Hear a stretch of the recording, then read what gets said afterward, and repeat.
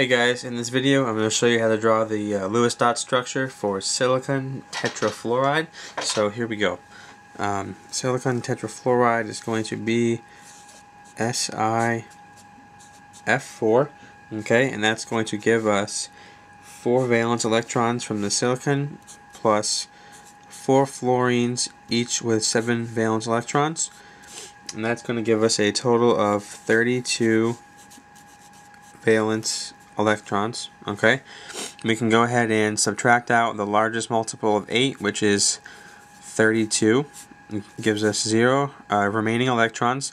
And since 32 is equal to 8 times 4, that means that this um, molecule will be an AX4 structure, meaning that there is one central atom surrounded by four peripheral atoms, alright? So let's go ahead and draw the structure.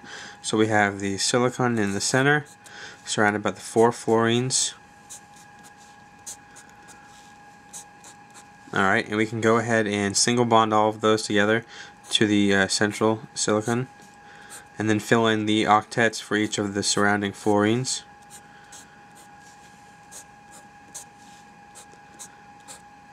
Okay, and then if you, if you count out the electrons, that's going to be our total 32 valence electrons. So that's actually going to be our final structure.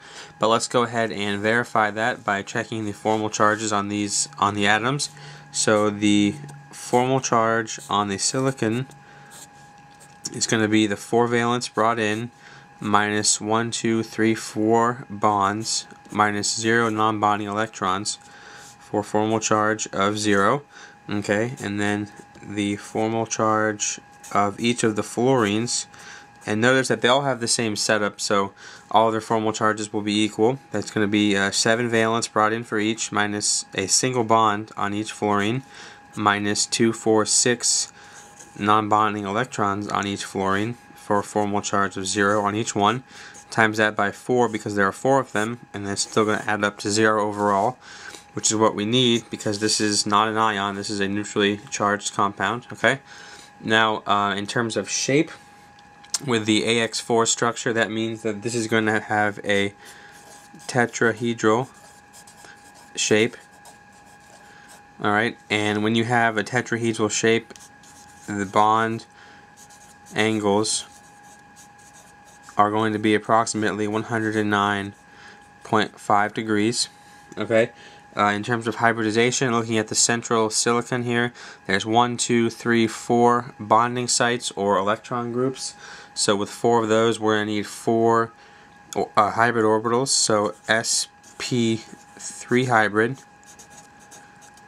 one s and three p's, so that's a total of four orbitals, okay?